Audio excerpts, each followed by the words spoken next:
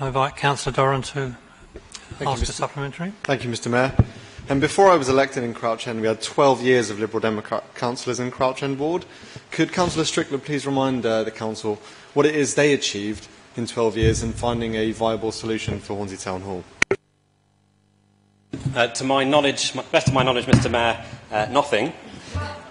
Um, and I think this is an important point. What, what I think we have seen uh, since 2014, I think, is a much more productive relationship uh, between Cabinet um, and ward councillors. Um, but as the leader, I'm sure will agree with me, um, the three ward councillors absolutely hold um, our feet to the fire. Uh, they do the same to FEC. They absolutely push um, for the best uh, for their communities, um, but equally recognise that we have to save that building. We have to have it open to the community, um, and that means rolling our sleeves up, uh, getting around a table, um, getting stuff done, um, rather than just standing outside with a banner saying, please do absolutely nothing.